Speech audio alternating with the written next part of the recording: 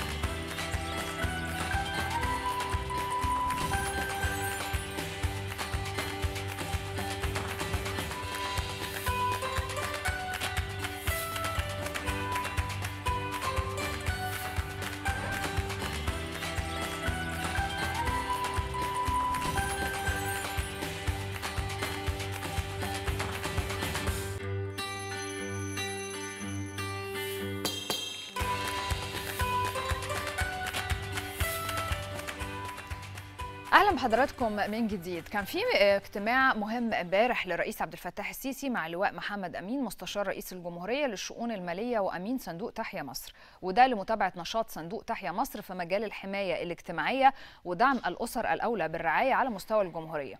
الرئيس شدد على أهمية زيادة حجم برامج الدعم المقدمة من الصندوق علشان تشمل أكبر عدد ممكن من المواطنين وكمان لتكثيف نشاطه من خلال مختلف برامج الاجتماعية للشرائح المستهدفة مع الأخذ في الاعتبار حلول فصل الشتاء طبعا وبداية العام الدراسي الحالي. وجه الرئيس كمان بالبدء في تفعيل وإطلاق عدد من المبادرات وده من خلال صندوق تحيا مصر وبقيمة إجمالية مليار جنيه. إيه المبادرات دي؟ عايزين نعرفها أكتر. آه وده اللي هنعرفه آه من خلال ضيفنا اللي معانا دلوقتي على الهاتف الأستاذ شادي سالم مدير إدارة المشروعات بصندوق تحيا مصر. أهلا بيك يا فندم وصباح الخير. أهلا بحضرتك صباح النور. يعني خلينا نتكلم الأول على هذه المبادرات. إيه هي المبادرات اللي هيتم فيها دعم برامج الحماية الاجتماعية؟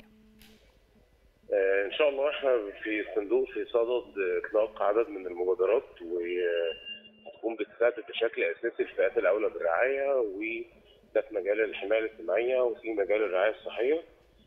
إحنا هنبقى متواجدين في إن شاء الله في تنظيم أكبر قافلة إنسانية.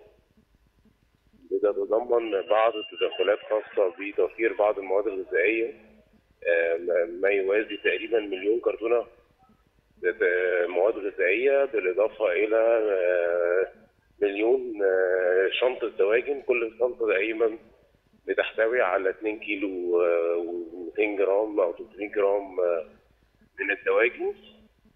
بالإضافة إلى قافلة خاصة بتوفير 50000 بوكس ملابس كل بوكس تقريبا بس يتكون من 13 قطعة ملابس ده في إطار الحماية الاجتماعية ده على على مستوى كل محافظات الجمهورية؟ يا فندم؟ ده على مستوى كل محافظات الجمهورية؟ على على مستوى محافظات الجمهورية وهيتم تنفيذ القافلة إن شاء الله بالتعاون مع وزارة التضامن ومشاركة وزارة التضامن الاجتماعي ومؤسسه المجتمع المدني. إيه البد... يعني إيه المحافظات اللي هتبدأوا بيها؟ يعني كم محافظة هتبدأوا بيها في الأول؟ يا فندم؟ إيه المحافظات اللي هتبدأوا بيها في الأول؟ يعني إيه يعني الأولوية هتبدأوا بأنهي محافظات في الأول؟ لا إحنا إحنا التنفيذ هيبقى على كل المحافظات 27 محافظة وبشكل أساسي المؤسسات المجتمع المدني عندها قواعد بيانات من الفئات الأولى بالرعايه ودي اللي هتبقى الأولوية لينا في التنفيذ إن شاء الله.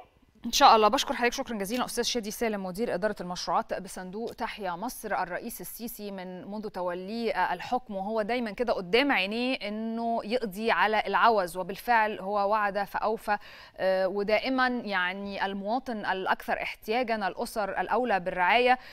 دايما كده هم اللي ليهم الأولوية ويمكن ده شفناه على مدار الست سنوات كمان يعني بشكل مستمر وبشكل منتظم. هنروح دلوقتي مع بعض علشان نشوف النهارده في مصر ونرجع لكم مرة ثانية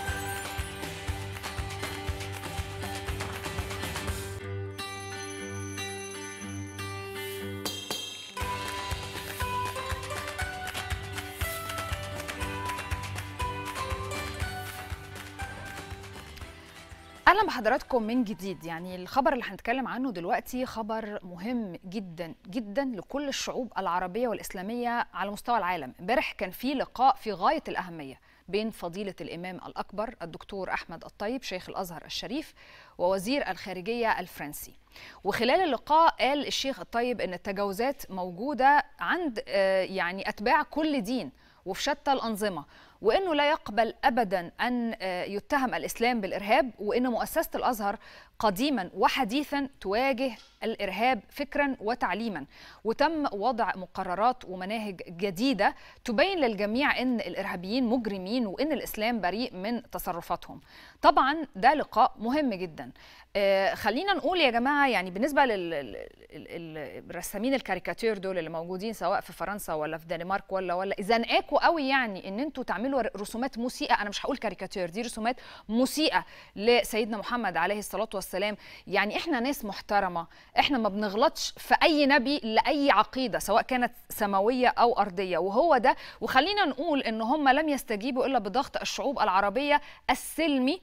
وطبعا إحنا بنستبعد تماما الأفعال اللي كان فيها عنف أو فيها قتل أو فيها تعدي. الحل لما تم والضغط الحقيقي لما تم تم ب تكاتف الشعوب العربية الإسلامية باعتراض سلمي واضح وصريح.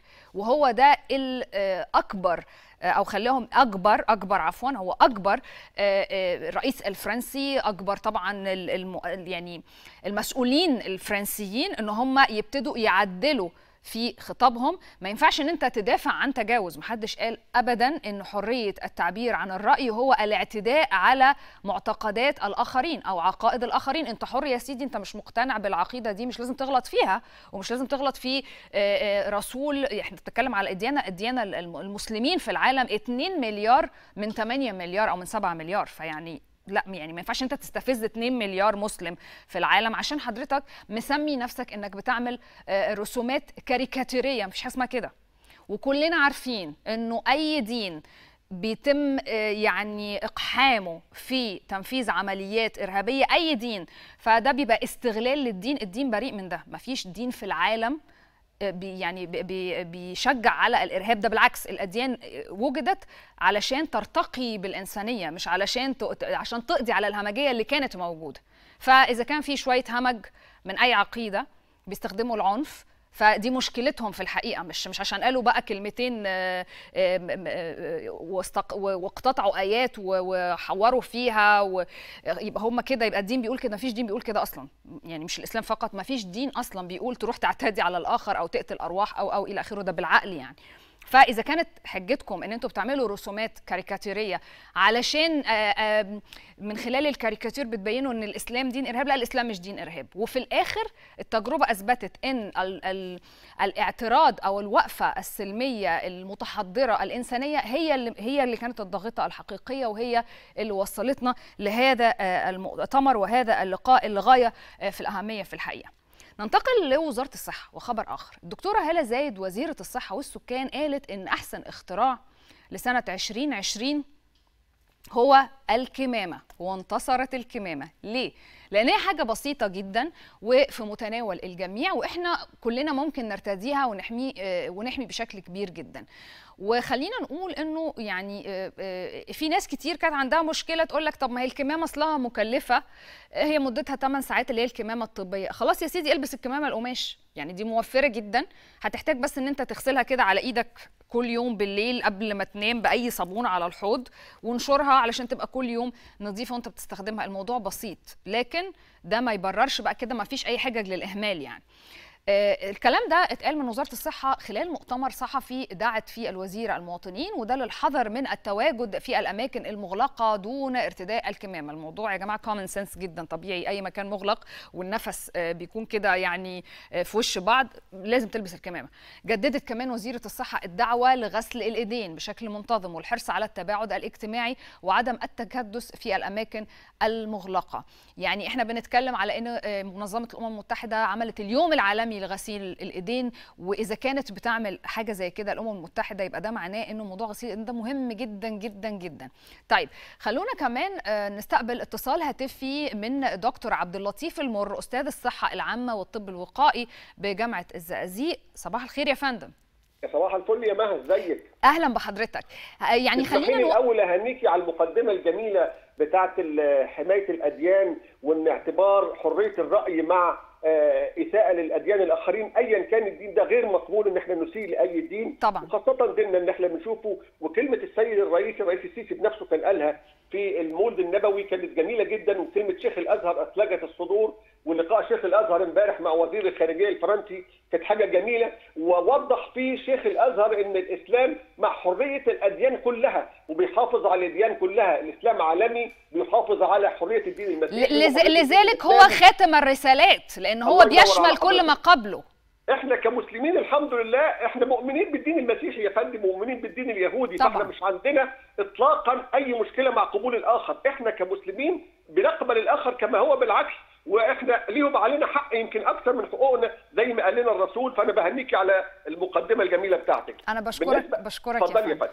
آه،. يعني خلينا نوضح للمشاهدين أكتر. يعني هل الكمامة هي تعتبر فعلا أحسن اختراع لمواجهة هذا الفيروس فيروس كورونا؟ لا أنا مش عايز أقول اختراع لأن اختراع الكمامة مخترعة من زمان من عشرات السنين أو مئات السنين. لا هي بالنسبة لنا اختراع. لأنه إحنا كش- كشعب يعني مصري أو شعوب عربية كنا لما آه. بنشوف حد لابس كمامات كان غالبا بيبقوا من اليابان من الصين اللي هم السياح. أنا آسف إحنا وصلنا الفترة اللي إحنا فيها دلوقتي كده. دلوقتي لو ده نزلت الشارع وأكيد أنت بتروح الشارع يا مها أكيد بتشوف الناس مش لابسة وعاد اللي يا- لابس كمامة وهو داخل مول أو محل أو أي سوبر ماركت من كوكب. وده غير مقبول تماما. يعني غير مقبول حال آه في مشكلة في في الاتصال في الشبكة. بس دكتور عبد اللطيف يعني لو تغير مكانك شوية لأنه الشبكة مش واضحة. دكتور عبد اللطيف. المر أستاذ الصحة العامة والطب الوقائي بجامعة الزقازيق. هن- هنرجع لك مرة تانية هنحاول نتواصل مع حضرتك مرة تانية لأن واضح إن في مشكلة في آه، شبكة ال- المحمول. طيب إحنا هنروح دلوقتي مع بعض مشاهدينا علشان نشوف خدمات صباح الورد ونرجع لكم مرة تانية.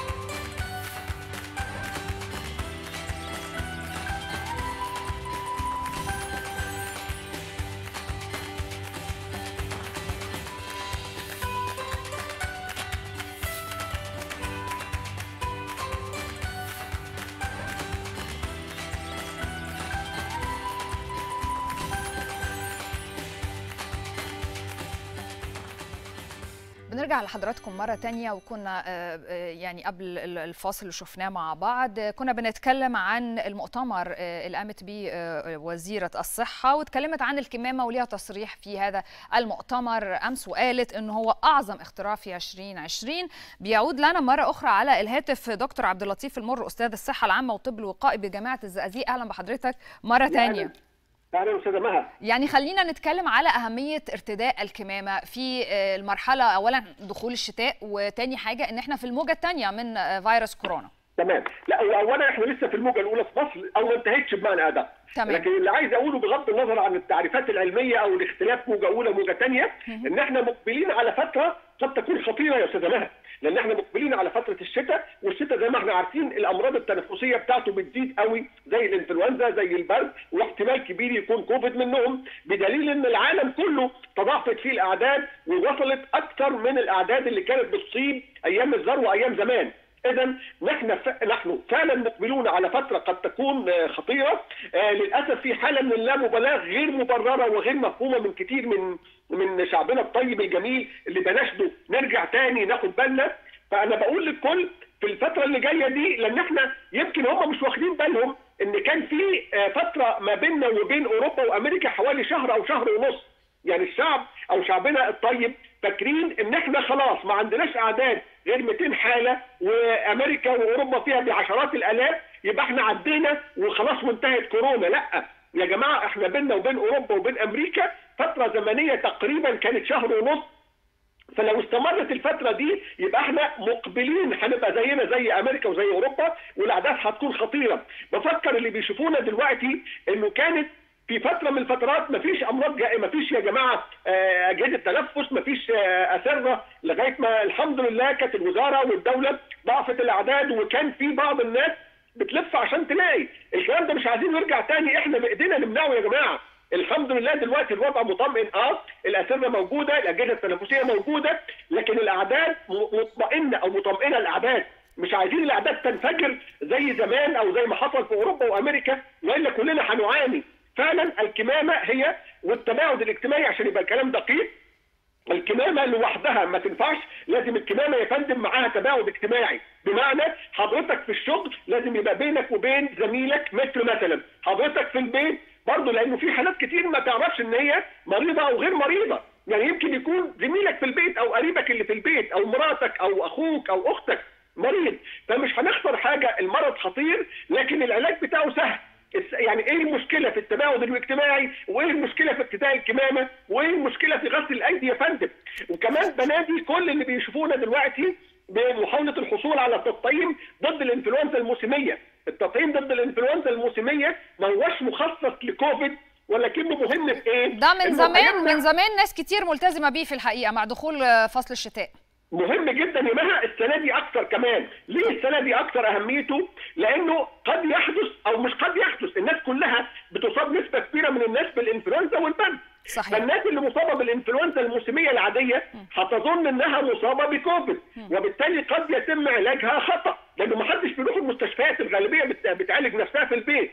فإذا قد تعالج نفسها على أنها كوفيد وده هيرهق جهازها المناعي وصلت وصلت رساله دكتور عبد اللطيف المر أستاذ الصحة العامة والطب الوقائي بجامعة الزقازيق. بشكرك شكرا جزيلا. مشاهدينا هسيبكم دلوقتي مع فاصل ونرجع نبدأ فقراتنا الحوارية. تابعونا.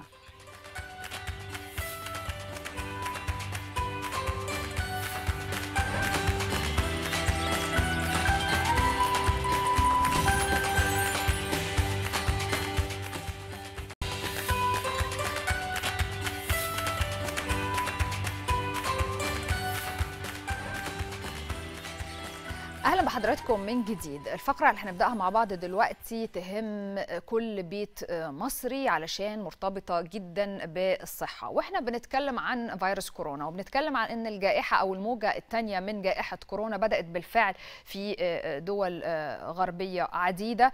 ف وداخلين كمان إحنا على فصل الشتاء وطبعا الحمد لله مصر كانت نجحت جدا في احتواء هذه الموجة اللي هي الموجة الأولى. فإحنا كمان دلوقتي عايزين نعرف رأي العلم رأي الطب. هل مصر دخلت بالفعل في الموجة الثانية من جائحة كورونا؟ وإحنا طبعا على دخول الشتاء. وإزاي نستعد لهذه الموجة؟ وإزاي نحمي نفسنا ونحمي أولادنا من هذا الفيروس؟ علشان كده ضفنا في الاستوديو هو دكتور ماهر الجرحي نائب مدير مستشفى مستشفى حميات إمبابة. أهلا بحضرتك. أهلا صباحك. صباح الورد.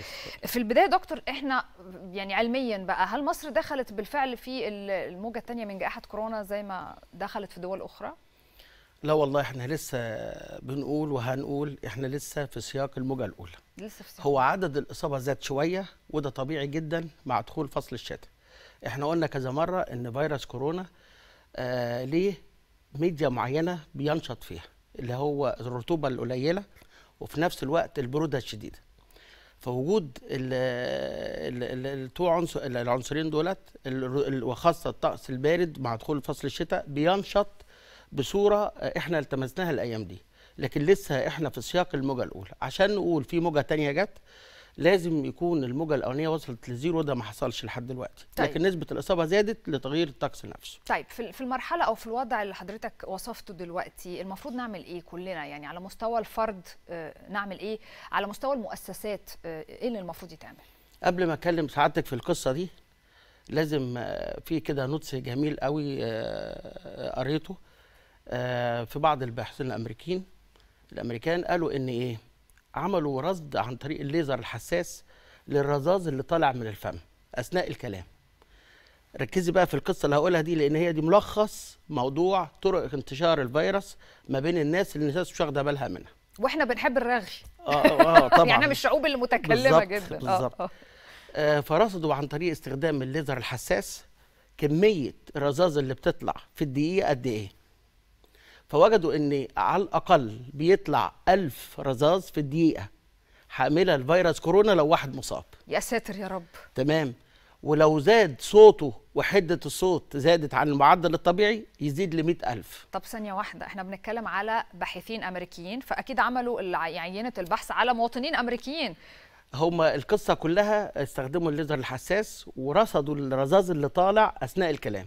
بس شوف ال ال آه بشكل عام ملهاش علاقة بالظبط، آه، يعني بالظبط. الناس بتتكلم أكتر أو بتتكلم أقل. بالظبط إحنا أنا بقى آه، ليها علاقة بمين؟ بالمصاب. أيوه. فتخيلي حضرتك قاعدين في مكان مغلق وإحنا عندنا بنحب نتكلم كتير فعلا والصوت بتاعنا عالي شوية في بعض الم- المصالح الحكومية أو أو أي مكان آخر ولقيتي على الأقل في الدقيقة بيطلع ألف رذاذ في الدقيقة لو صوت عادي. طب عايزين نخلي بقى صوتنا عالي شوية هيطلع مئة ألف. على فكرة دي حاجة مقلقة حتى لو مفيش فيروس. بالظبط آه. بالظبط. شوفي بقى كمان اللي موجود إيه.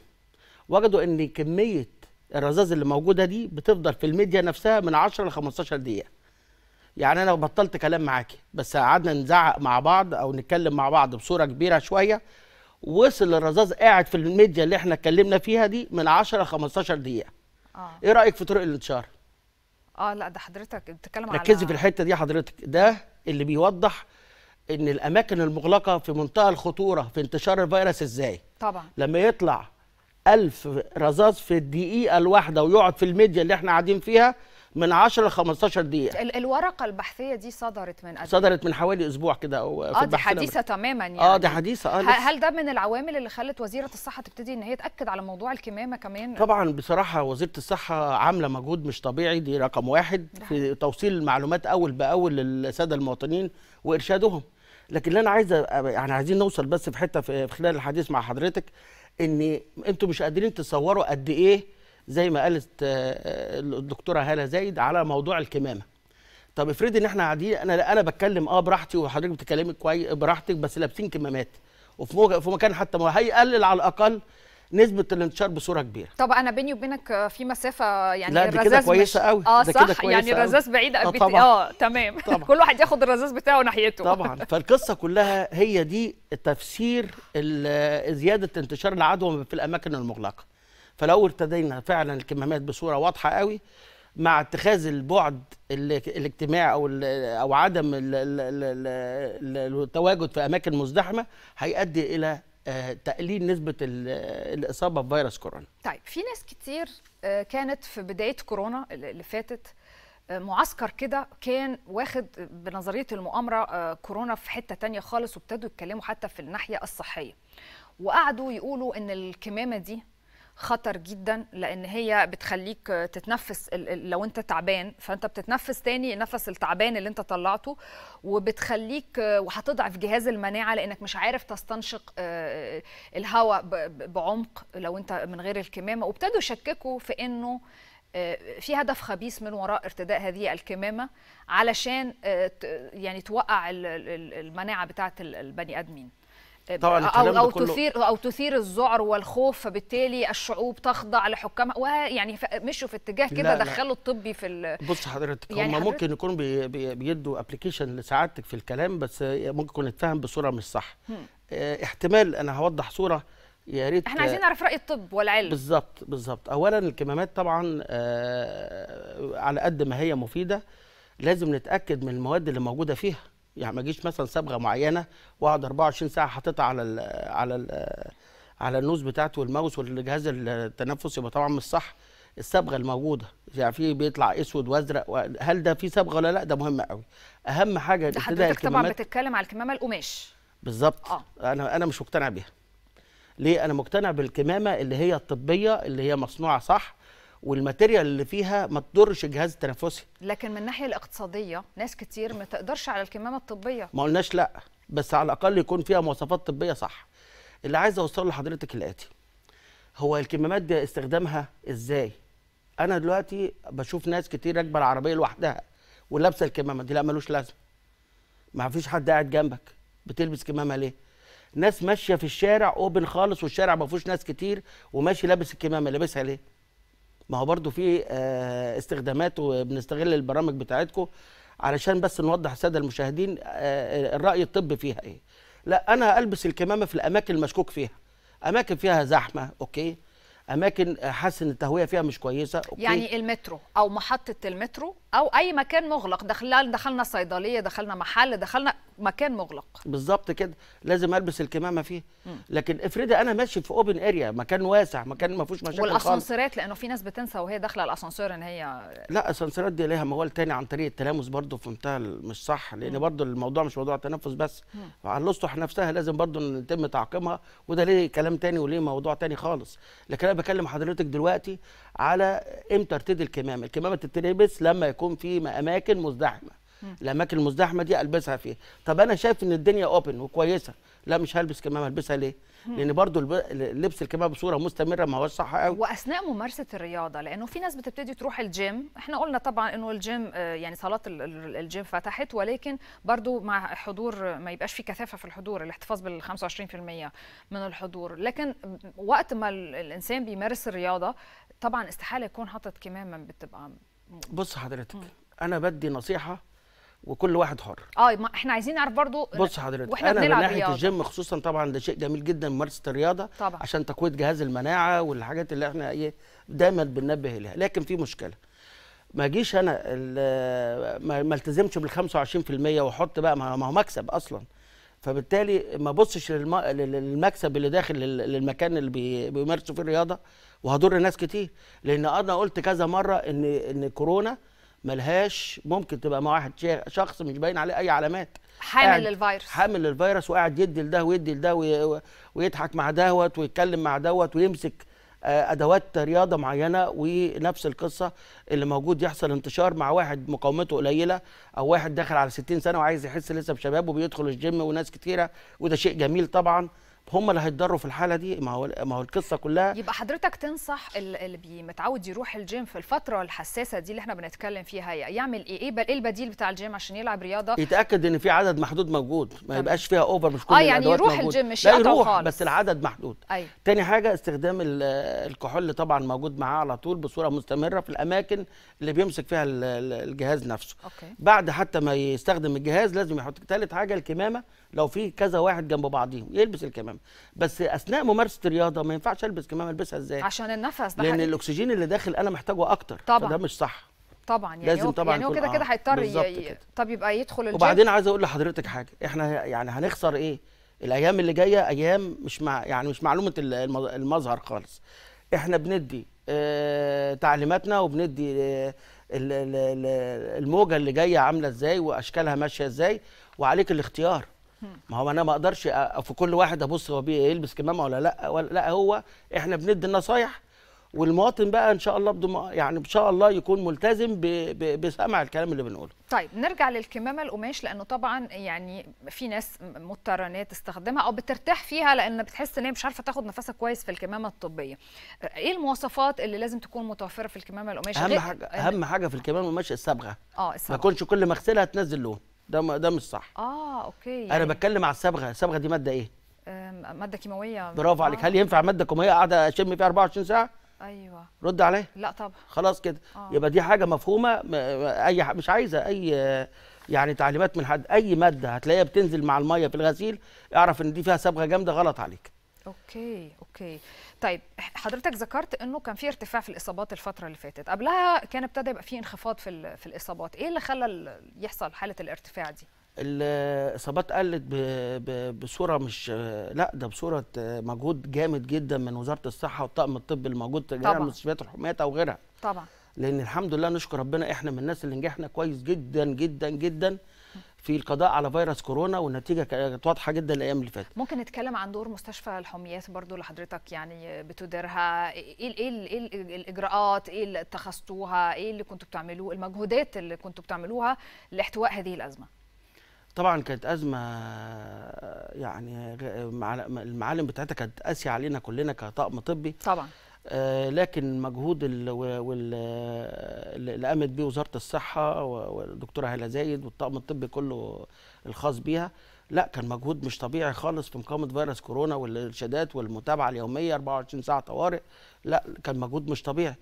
المستشفى آه، السراير بتاعتها وفي بعض التجديدات اللي حصلت جوه المستشفيات الحكوميه على مستوى الجمهورية كلها بعد الجائحة نفسها وإحنا دلوقتي متمرنين تماما على مواجهة أي فيروس يدخل يعني الحمد لله بقى الخبرة ربنا. العملية بقى الخبرة بقى خلاص بقت آه. موجودة لأن ما حدش يقدر يقول كلنا اتفوجئنا العالم العالم كله سواء كان أوروبي أو عربي فوجئ بالفيروس كورونا ما ما, يعني ما تقوليش إن ده كان حاجة متوقعة لما جت في الأول. أكبر مثال آه، الولايات المتحدة الأمريكية وحجم الإصابات الرهيب اللي بيزيد فيها يوميا وعندك أسبانيا وإيطاليا لما عدوا بالأزمة فهي فعلا كانت مفاجأة على مفاجأة على الكل على العالم. الحمد لله ننجح بالمنظر ده. لا ده شيء جميل جدا. صحيح. يعني بجد ريكورد منظمه الصحة العالمية أشدت بالمجهود اللي قامته مصر في مواجهة فيروس كورونا يعني.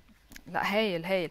طيب آه، خلينا كمان نتكلم أكتر بقى عن تعقيم المنازل. يعني خلينا نقول إنه إحنا عارفين إن المؤسسات سواء ال- المستشفيات أو ال- المؤسسات العامة بيبقى في فريق بيعقم الأماكن بشكل يومي. لكن أنا في بيتي كمان ما حتى لو أنا قاعدة مع أهلي وما بستقبلش ضيوف بس أنا محتاجة برضو إن أنا أعقم ال- البيت بشكل عام لأنه إحنا بنمسك حاجات برضو في بيتنا وبنغسل إيدينا وكل حاجة. ال- ال- أساليب التعقيم الصحيحة إيه للمنازل؟ أهم حاجة التعقيم اللي هتكلم عليه بيوت الدكاترة بيوت الد- بيوت آه الدكاترة. طبعاً، ده أول طبعاً. حاجة قبل هم المواطن. أكتر ناس بتتعرض لل- أكبر ناس بتتعرض للفيروس هم الدكاترة وخاصة دكاترة الحميات أو دكاترة الصدر أو الدكاترة بتستقبل آه، أمراض كورونا أو جميع المستشفيات ما كله ما في الأول ما بقاش عارف عنده إيه طبعا طبعا الطبيب طبعا لازم يدخل أول حاجة الشوز نفسه يتحط على الباب ما يخش بيه الشقة خالص تاني حاجة التعقيم يدخل كده زي ما هو اللبس يا ريت اللبس يدخل المغسلة يوميا وياخد الشاور بتاعه ويخرج يبقى كده الدنيا بقت كويسة يبتدي بقى إيه يتعامل مع أسرته.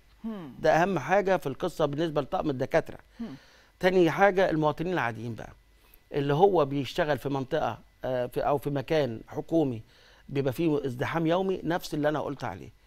زائد الاحتراء الإجراءات الاحترازية في التباعد لحد لما آه، تبان الموجة ماشية إزاي. بمعنى إيه؟ ما كنتش كل شوية أقعد البوس والقبلات مع الأحفاد ومع الأم ومع الأب وخاصة كبار السن لانهم أكبر ناس يتحط لهم برواز في الإصابة بفيروس كورونا. ما بيستحملوش بجد يعني نسبة الوفيات أصلا ما بتبقاش في اليونج إيج بتبقى في الناس الكبار في السن اللي عدوا 60 سنة وال 65 سنة. هو في شباب بالفعل كمان كان في نسبة الوفيات ولكن مش بنفس النسبة للكبار. نسبة نسبة يعني محدودة يعني ما بقاش نسبة الكبار هي الأكتر طبعا.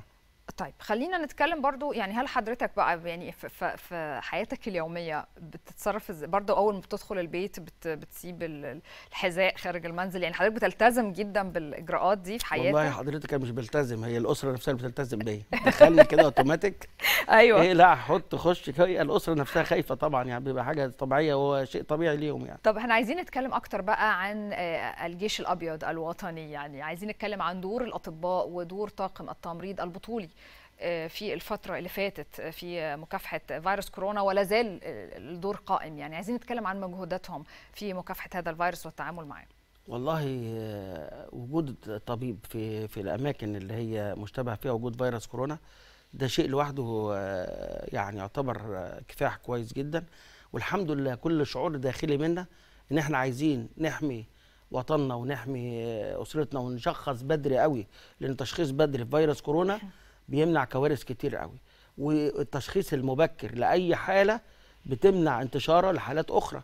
يعني أنا لو جه واحد مثلا سي عنده شوية صداع وألم جامد في الجسم وما فيش أي علامات ولا في علامات تنفسية ولا في الجهاز الهضمي وأنا شخصته بمسحة PCR وطلع positive ما أنا حميت ناس كتير هو مش باين عليه حاجة.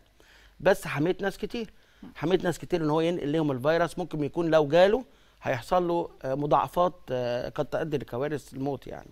ناس كبار في السن. سعر فكل- المسحة هل هو متاح للجميع يعني ف... اقتصاديا؟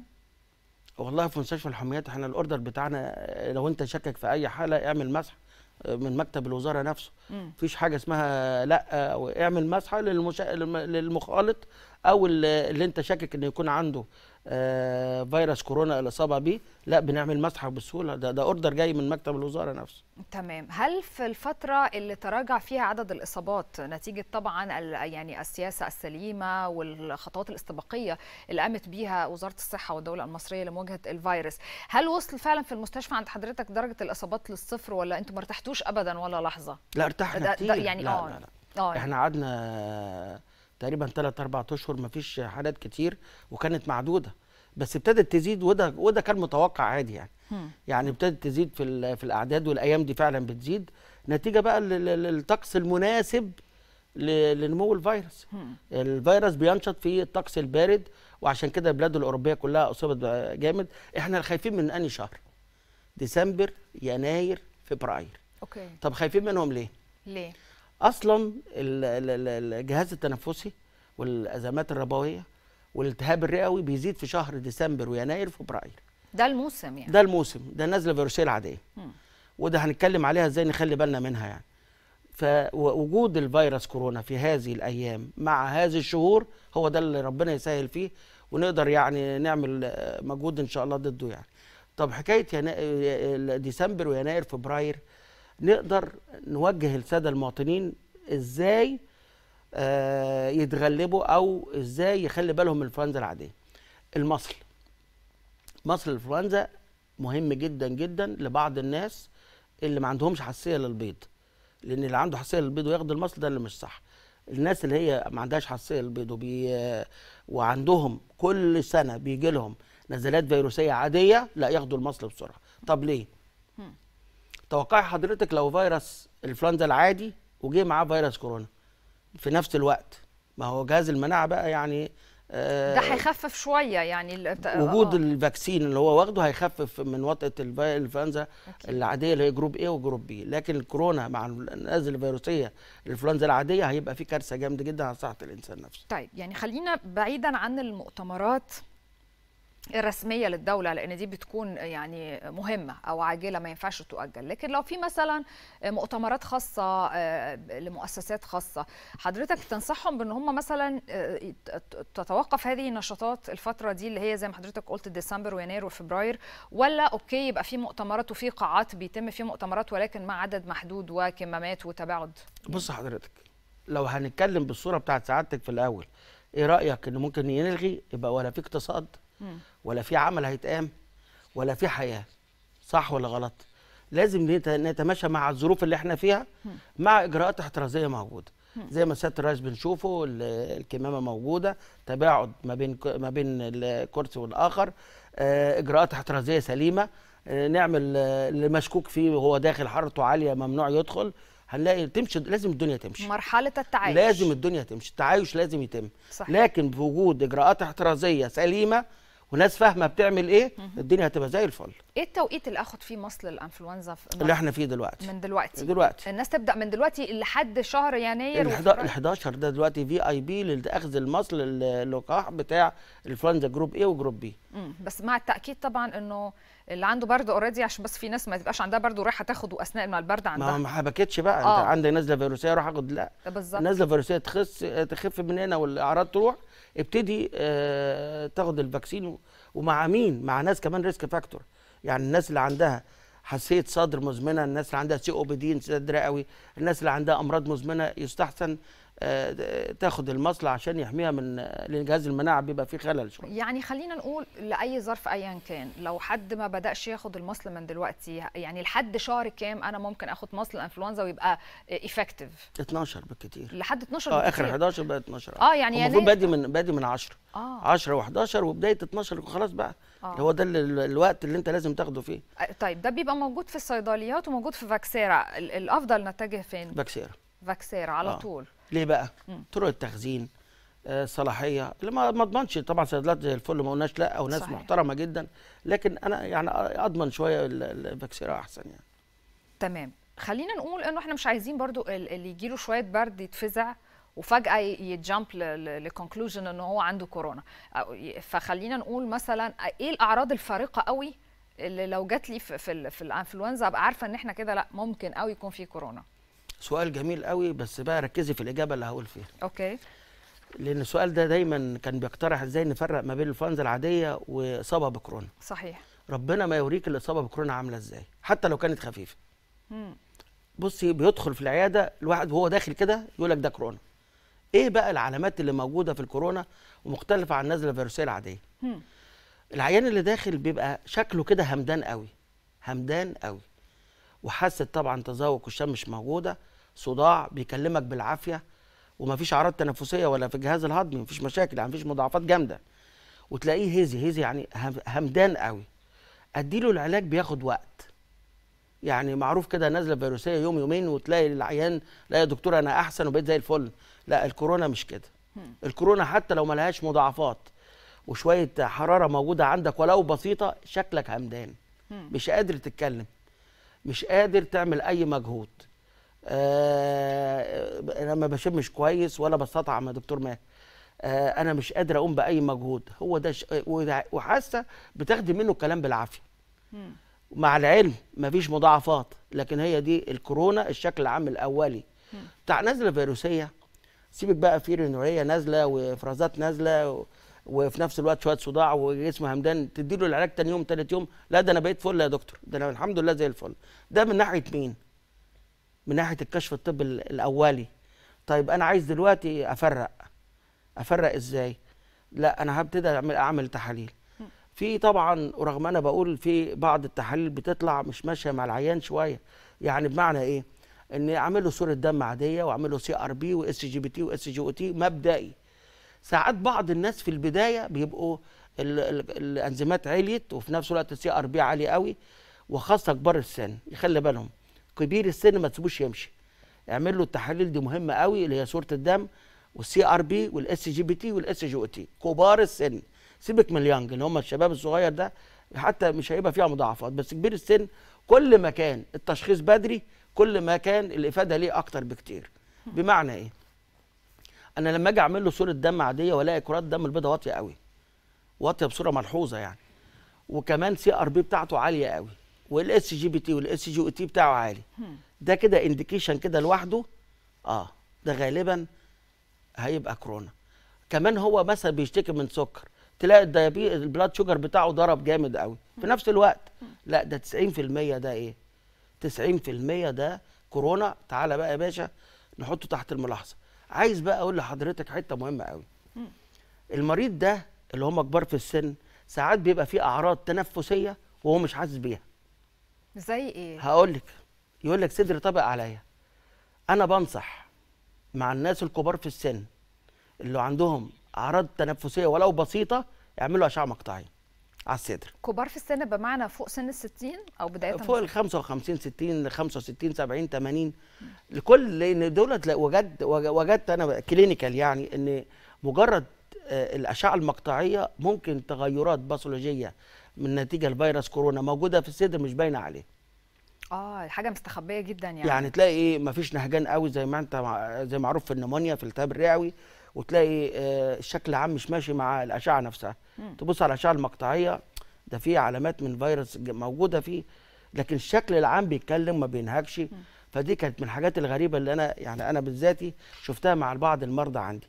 فبالتالي بقول إن الأشعة المقطعية في كبار السن لو طلبها الطبيب منك يا ريت تعملها أحسن بدري. في نهاية اللقاء حضرتك إيه النصائح العامة اللي توجهها لكل المواطنين اللي بيشوفونا دلوقتي؟ أول حاجة زي ما قال سيادة الوزيرة ارتداء الكمامات. ده هيوفر على الأقل 70% من انتشار الفيروس وزي ما قلنا في الأول الميكانيزم بتاع الرذاذ قد إيه زي ما قلت لحضرتك. تاني حاجة التباعد الاجتماعي. مفيش داعي للمناسبات لأن أنا زعلان من حاجة مهمة قوي وأنا حتى جاي دلوقتي كتير قوي في الكليات أو ال ال ال الأماكن المزدحمة مش لابسين كمامات خالص.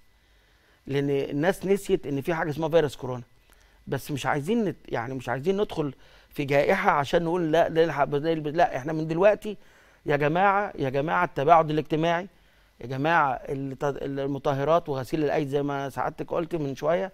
تالت حاجة ال- الكمامات ارتدائها في الأماكن المزدحمة مش 24 ساعة. في الأماكن اللي انت تحس إن انت ممكن يجي لك فيها infection أهم من ده كله بقى مفيش داعي للمناسبات اللي إيه بشوفناها كتير قوي في ال social media. مش عايزين نذكر بقى اللي حصل اللي هي المناسبات الترفيهية اللي ممكن آه. يكون ليها بديل يعني. والمهرجانات والكلام اللي حضرتك عارفاه. فطبعا هتقولي لا ما بيحصلش لا بيحصل. في مهرجانات بتقوم يا ريت نقللها شوية.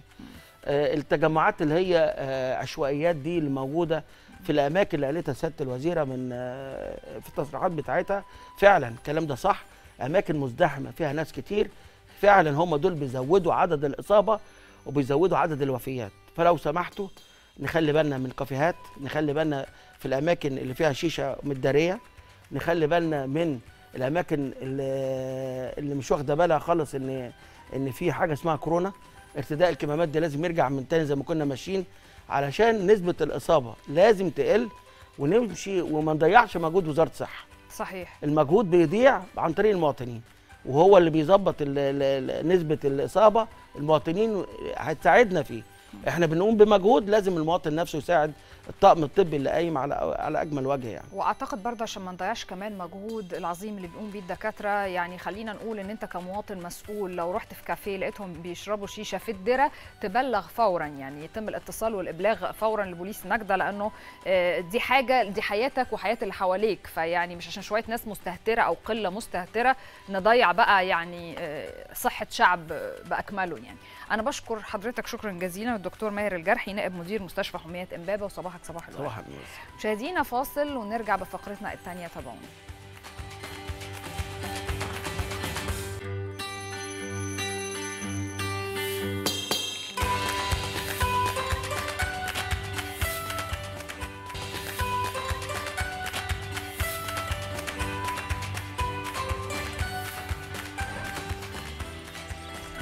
أهلا بحضراتكم من جديد. الفقرة اللي هنتكلم عنها دلوقتي فقرة مهمة جدا عن فن يعني يمكن مظلوم شوية. هو فن الشعر.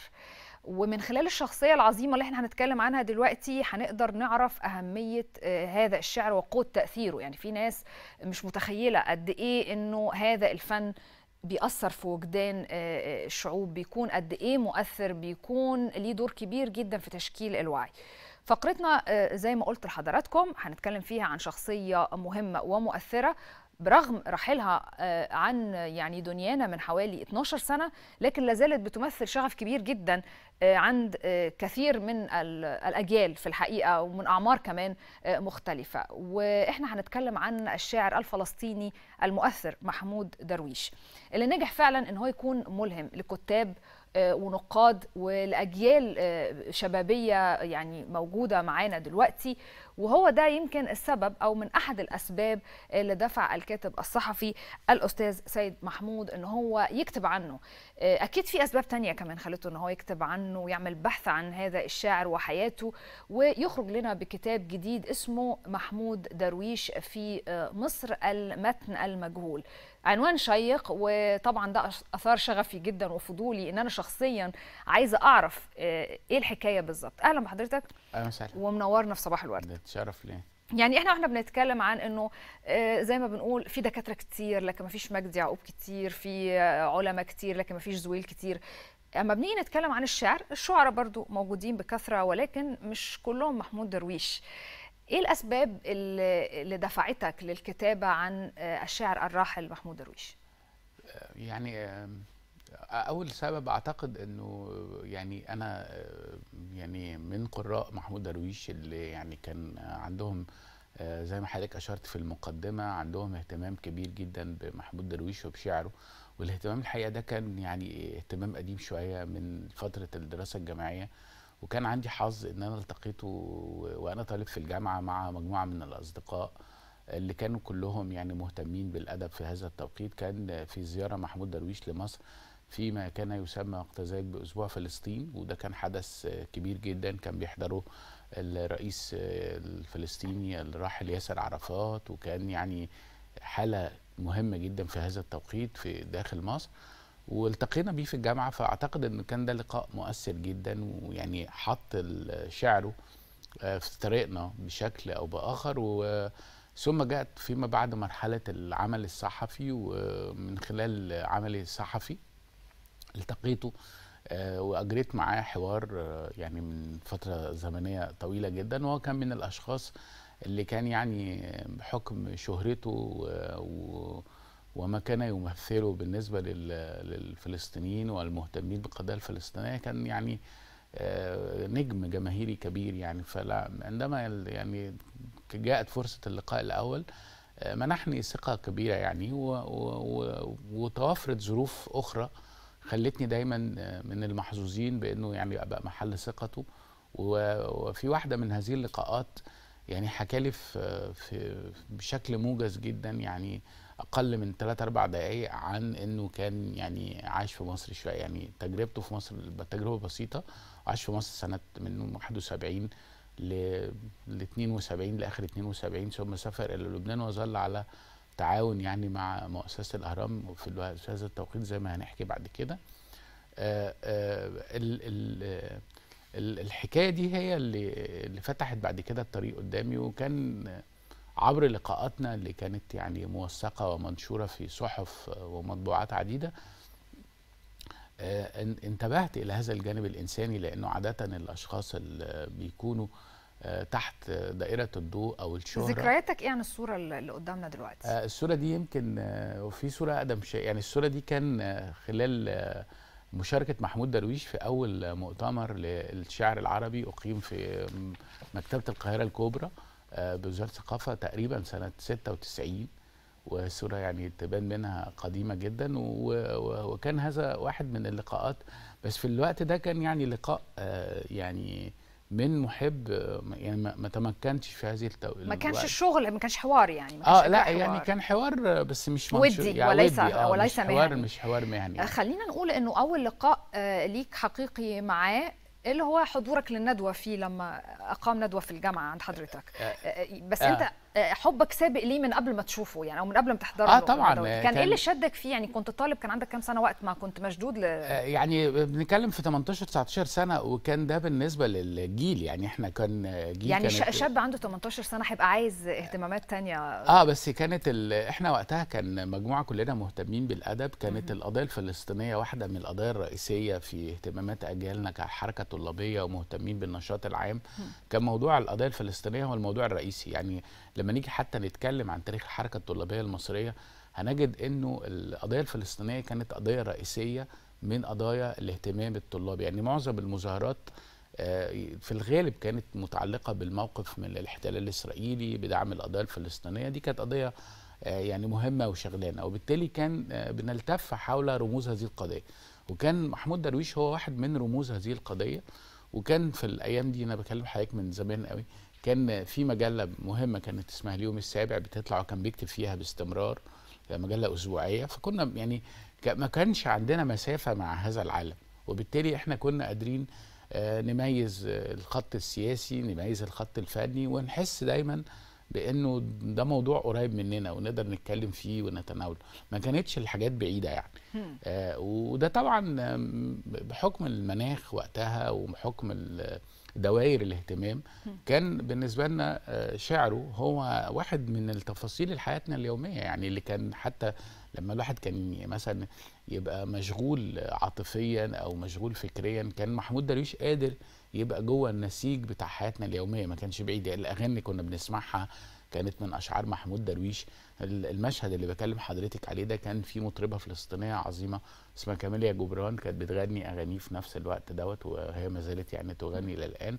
كانت في فرقة موجودة جوه أسبوع فلسطين ده يعني الموضوع كله كان محمود درويش. وظل طبعا هذا الاهتمام إلى الآن هو واحد من أكتر الناس اللي بتتقري يعني. خلينا نتكلم بقى عن كتاب حضرتك محمود درويش في مصر المتن المجهول. آه، اختيارك لهذا العنوان ليه؟ بص حضرتك اللي كتب ال ال آه، أنا يعني زي ما قلت لحضرتك بحكم هذه المعرفة اللي كان يعني فيها جزء آه، شخصي آه، هو لما حكى لي الحكاية دي آه، يعني وعدته إن أنا آه، هحاول أبحث في هذا في هذه الفترة وأجمع المقالات اللي كانت مجهولة. آه، محمود درويش جيب قرار من الدولة المصرية آه، إلى مصر. يعني في قصة كده إن الدولة قررت آه، سنة آه، بعد حرب الاستنزاف آه، علشان مصر كانت خارجة من النكسة نبتدي عندنا يبقى الدولة عندها تأثير داخل المجتمع آه، الإسرا- الإس- ال- الإسرائيلي وبالذات داخل إيه المجموعة العربية داخل آه، الأراضي المحتلة. آه، علشان يحصل هذا التأثير كان لازم يكون في البحث عن أيقونات أو رموز داخل ال- المجموعات العربية في الأراضي المحتلة. فكان محمود فمحمود درويش كان لسه شاب وكان عنده 28 سنة في هذا التوقيت 27 سنة. وواحد من الأسماء اللي ابتدت تلفت النظر بسبب آه، ما كان يعانيه من الاحتلال الإسرائيلي. كل شوية يحبسوه آه، اشعاره بيتم تهريبها هو ومجموعة من الشعراء آه، ونالوا هذا المصطلح اللي ظل معاهم طول الوقت اللي هو شعراء الأرض المحتلة. ونشرت آه، دار الهلال ومجلة الهلال آه، ديوان لمحمود درويش كنوع من الدعم للقضيه الفلسطينية. الأستاذ أحمد بهاء الدين الكاتب العظيم كان على رأس آه، مؤسسة دار الهلال في هذا التوقيت فكان مهتم جدا بالقضية الفلسطينية كجزء من اهتمامه بالقضايا القومية العربية. فكان محمود درويش بالنسبة لعدد كبير جدا من المثقفين في اثناء فترة الاستنزاف نجم كبير. واتخذت الدولة في لحظة ما قرار بأن محمود درويش آه، يأتي إلى مصر لأنه كان بيعيش في موسكو وما كانش آه، كان في مخاوف من عودته مرة أخرى إلى آه، حيفا وإلى الأراضي المحتلة. فاحتضنته الدولة المصرية احتضان كامل وهناك من يتحدث أصلا عن حتى فرصة للقاء سري جمعه بالرئيس جمال عبد الناصر وهذا أمر يعني غير مؤكد.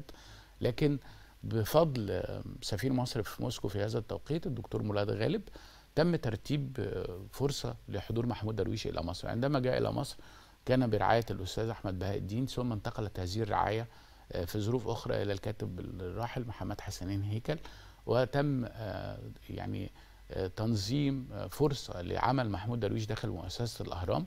وكان عندما جاء كان هناك حديث أيضا عن عمله في إذاعة صوت العرب.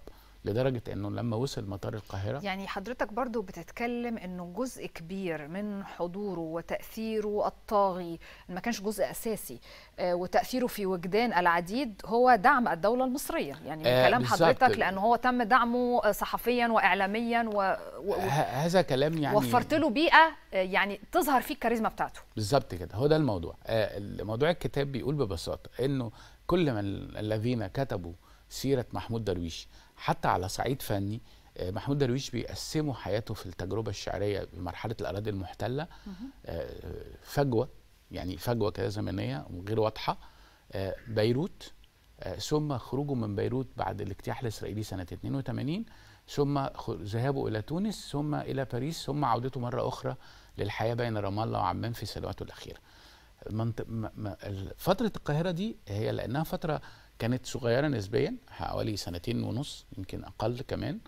الفترة دي آه، لم تكن آه، المادة اللي أنتجها محمود درويش آه، فنيا متوفرة. مقالاته الصحفية وهو كان جاء إلى مصر وعمل صحفيا في مؤسسة الأهرام لفترة طويلة أو بالأدق كان خبيرا في الشؤون الإسرائيلية م- في مركز الأهرام للدراسات ال- المؤسسة المهمة دلوقتي. ده إحنا بنتكلم في الفترة من 71 ل 73 بالظبط كده. هو محمود درويش آه، خرج من مصر في نهاية 72 أو في النصف الثاني من 72 يعني وذهب إلى بيروت للعمل آه، في مؤسسة بحثية فلسطينية كانت تصدر مجلة مهمة في شؤون إيه فلسطين أسباب إن الفترة فترة إقامته في مصر تكون آه، هي هي فترة في إقامته في مصر كده محدودة جدا مش كده؟ ده ليه علاقة أصلا بتغيرات سياسية يعني كانت ال ال ال فكرة إنه ال- كان إن انعقد في 72 المجلس الوطني الفلسطيني لأول مرة في القاهرة فمحمود درويش آه، آه، آه، التقى لأول مرة بالمجموعة الرئيسية الفاعلة في المجلس الوطني الفلسطيني الرئيس عرفات وكل من كان حوله في منظمة التحرير الفلسطينية في هذا التوقيت. فوجد البيئة يعني وجد عرض للتعاون مع ال- المؤسسة الفلسطينية اللي كانت بتقود مرحلة النضال السياسي ضد إسرائيل. وبالتالي آه، يعني وجد عرض للعمل في بيروت. كمان بيروت في هذا التوقيت كانت بيئة شعرية آه، يعني متكاملة ومنفتحة أكتر. آه، الخط السياسي في مصر كان ابتدى يش- يشهد بعض التغيرات. فهو كان جاء بالترتيب مع الرئيس جمال عبد الناصر أو من خلال مراد غالب مع رئيس جمال عبد الناصر الذين احتضنوا تجربته في هذا في لحظة البدايات. كانوا بيعيشوا ظرف سياسي صعب كانوا في صراع سياسي مع الرئيس السادات في هذا التوقيت بعد ما سمي بأحداث 15 مايو 71 فالمشهد ابتدى يبقى مرتبك بالنسبة له. آه، الأستاذ هيكل كان ساب فيما بعد ساب مؤسسة الأهرام فيما بعد يعني بعد ذلك بفترة. الوضع كان بالنسبة له غير يعني العرض اللي كان بيروت بالنسبة له كان عرض أكثر اغراء على صعيد تجربة الكتابة. إيه إيه الجوانب اللي حضرتك تطرقت ليها في هذا الكتاب؟ يعني هل حضرتك ركزت فقط على الجانب ال- الفني والمهني ولا الجانب الشخصي والإنساني ولا في توليفة كده معين أو بالظبط، يعني حواراتك؟ ممكن نقول إن في توليفة يعني في خط الخط الأساسي للكتاب أصلا ولد هذا الموضوع آه، عندما فكرت في الذكرى العاشره لرحيله أن آه، أكتب عن آه، هذه التجربة التي لم يعني كان كل ما ينشر عنها غائم وغير دقيق يعني حضرتك قعدت سنتين في هذا البحث. آه لا هو الحقيقة ال- نشر سنه 2010 ملف غلاف مجلة الأهرام العربي. آه حصلت على تفرغ اتفقت مع رئيس تحريري الصديق العزيز جمال الكشكي إن إحنا نعمل آم، تحقيق است- استقصائي آه طويل. عادة الصحافة الاستقصائية ما, ب- ما, بت ما بتشتغلش على الأدب قوي يعني آه إلا فيما نظر يعني. فتحمس جدا للفكرة وبحكم وجودي في مؤسسة الأهرام قررت أن أبدأ البحث داخل أرشيف مؤسسة الأهرام فعثرت على آه، بعض الوثائق آه، منها قرار تعيينه في الأهرام آه، الفلوس اللي كان بياخدها قرارات بدل السفر وغير ذلك من الأمور الإجرائية اللي كانت مثيرة بالنسبة لي. طيب عندنا مادة عايزين نعمل لها جسم فابتدت رحلة البحث في الأرشيفات ثم اللقاء مع الأشخاص الذين التقى بهم في هذا التوقيت. بنتكلم عن سنوات بعيدة جدا. يعني حضرتك بتتكلم عن مشروع بدأت فيه من 2010 بالظبط. والكتاب لسه نازل دلوقتي. آه الحقيقة الكتاب آه، هو آه، بعد ما الموضوع الصحفي نشر آه، حصلت على جائزة دبي للصحافة العربية وكنت يعني البرنامج هنا شرفني بالاستضافة مع أصدقاء من الذين حصلوا على الجائزة في هذا العام. الناس اللي قرت التحقيق الصحفي وكانت المجلة خصصت له آه، يعني تقريبا عدد خاص يمكن تاني مرة في تاريخها تحط شخصية أدبية على الغلاف.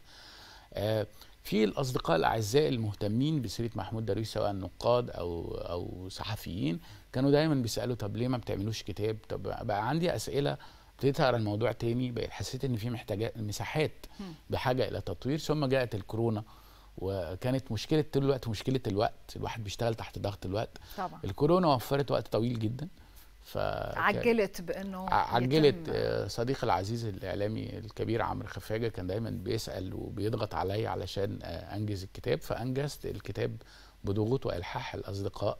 ولأنه خلاص توفر الوقت بجرعات أكبر. فابتدينا نبقى متفرغين فيعني مجهود كبير وعظيم وعلى مدار سنوات عندك هدف يعني ما ما تخليتش عنه. إيه الوثائق والمقالات اللي بتنشر لأول مرة في هذا الكتاب؟ آه، محمود درويش آه، لما كان محمود درويش طبعا بالإضافة إلى إنه شاعر آه، يعني استثنائي وفاز في تاريخ البشرية هو أيضا من كتاب النثر العظام. يعني عنده كتب نثرية في تقديري لا تقل أهمية ابدا عن إنتاجه الشعري لاحظت إنه في هذه الكتب النثرية لم آه، يعيد نشر ابدا ما كتبه خلال وجوده في مصر. فبقى عندي سؤال الراجل اللي قاعد في مصر كان شغال صحفي آه، كتب إيه؟ آه، وكتبوا فين؟ كتبوا إزاي؟ ف أثناء البحث آه، يعني آه، لمدة أربع خمس شهور في الأرشيفات وجدت بعض المقالات رجعت قريت كتبه كلها وقارنت هذه المقالات بهذه الكتب فوجدت إن هو لم ينشرها فابتديت أعمل لها عملية توثيق آه، تدقيق في الأسماء آه، ال- بعض الأحداث هو أحيانا كان بعض المقالات بيكون تعليق على ما أحداث. كنتش متحيز آه، غصب عنك نتيجة ان انت بتحبه لأنه ممكن لأن برضه في الآخر إحنا عايزين نقول يمكن كان في الدراما ابتدى يظهر نقد بأنه دايما الشخصيات اللي هي الوطنية مثلا بيتم تصويرها في الحياة في الحياة الشخصية بمنتهى المثالية. قال لك لا مفيش حاجة اسمها كده. إحنا في الآخر بشر توليفة البشر. وخلينا نقول إنه في آه، أسامي كبيرة مثلا ممكن تقابلها وتبقى عشقت فنها أو المنتج بتاعها لكن بتتصدم لما بتقابلهم شخصيا أو بتكتشف فيهم حاجات أنت ما كنتش متخيلها.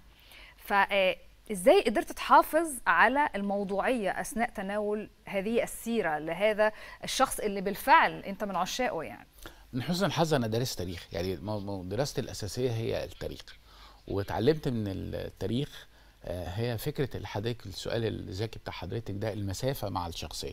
إنه في مسافة يعني مثلا حتى تجربة وجوده في مصر أيام ما كان موجود في مصر في ناس كتير قوي شعراء مصريين وشخصيات عامة ما كانتش مرتاحة لهذا الوجود نظرا لأنه آه، بدا للناس لناس كتير إنه يعني في مدلل من الدولة تحت رعاية الدولة. أنت عارفة الم- المثقفين والمبدعين الموضوع ده يعني يبقى بالنسبة لهم موضوع مزعج شوية.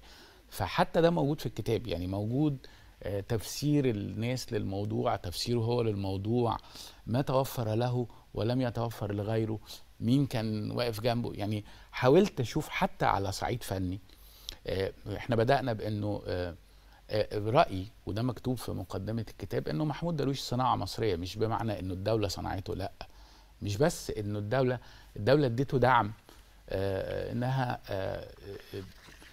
علشان تصنع تأثير في المجتمع الفلسطيني لكن على صعيد فني لأنه هو كان شخص ذكي جدا وشاعر ذكي جدا كان عنده 30 سنة بنتكلم على 30 سنة جنبه صلاح عبد الصبور أحمد عبد المعطي حجازي آه، أمل دنقل محمد عفيفي مطر محمد إبراهيم أبو سنة فاروق شوشة آه، شعراء شعراء من أجيال مختلفة.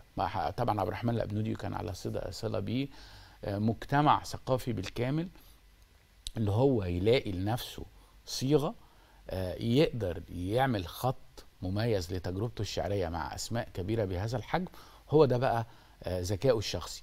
ولذلك آه، لما بنقول إنه تأثير مصر على محمود درويش ده موجود في الكتاب وده يمكن الجزء الأخير في الكتاب آه، إن إحنا نطرح تساؤل طب آه، إيه اللي إيه اللي عملته مصر في الشعر مش في الحياة؟ يعني ممكن ال- الناس طول الوقت بنتكلم على دول بتجيب ناس وتقعد ناس يعني ده ده طبيعي. لكن اللي مش طبيعي أو اللي الاستثنائي إن الشخص ده يبقى واعي بدوره في التاريخ بقى. إنه عارف هو هيستفيد من التجربة دي إيه. محمود درويش استفاد سأل نفسه طب أنا موجود إلى جوار شاعر كبير آه، أو شاعرين كبار زي صلاح عبد الصبور وأحمد عبد المعطي حجازي أين أضع قدمي؟ هذا هذا سؤال كبير. ال- اللي بيقرأ شعر محمود درويش كويس قوي هيجد إن محمود درويش نشر قصايد استثنائية جدا في هذا التوقيت آه، أظهرت آه، قوة موهبته وقدرته على التحول. عندما جاء إلى مصر كان مجرد شاعر آه، غنائي بيقول كلام رومانسي عن الوطن المفقود عن الحصار عن إنه محبوس وده كان يعني النبرة الشائعة في الشعر الفلسطيني. كل الناس كانت بتكتب كده. يعني هو ما كانش إلى أن بدأ إنه يتميز زي اللي بيدخل يدرس حاجات كتير ويبتدي يتخصص. بالظبط. التخصص ده آه، صحيح. هو عرفه من وجوده في هذه البيئة بيئة ثقافية. لأول مرة راجل بنتكلم راجل في إسرائيل مع مجتمع إسرائيلي لكن جوه مصر لأول مرة وجد اللسان العربي. آه، هو بيقول إنه لما نزل لأول مرة وسط البلد شاف على الرصيف الكتب والجرايد والمجلات العربية كان منبهر جدا إنه يفط الشارع بالعربي. خلينا نقول إنه إحنا هنحتاج يعني لقاءات ولقاءات علشان نقدر يعني نوفي له حقه أو نقدر يعني نغطي جميع الجوانب في حياة الشاعر آه، الراحل المتميز آه، جدا. محمود درويش ولكن آه، خلينا نقول إنه إحنا كمان ممكن نقرأ هذا الكتاب وكتاب جميل وفي مجهود كبير اتعمل على مدار سنوات في الحقيقة. محمود درويش في مصر المتن المجهول. بشكر مؤلف الكتاب بشكرك شكرا جزيلا. ضيفي الكاتب الصحفي الأستاذ سيد محمود نورتنا صباحك صباح الورد بنهنيك أخيرا على ظهور الكتاب إلى النور. صباح الخير دايما. أنا بحب أبقى موجود في البرنامج ده لأنه وشه حلو دايما علينا. تشرفنا وتنورنا أي وقت. مشاهدينا إحنا كده وصلنا لنهاية حلقتنا من صباح الورد. بكرة إن شاء الله يتجدد اللقاء ساعة ونص قبل دلوقتي فقط وحصريا على شاشة قناة تاني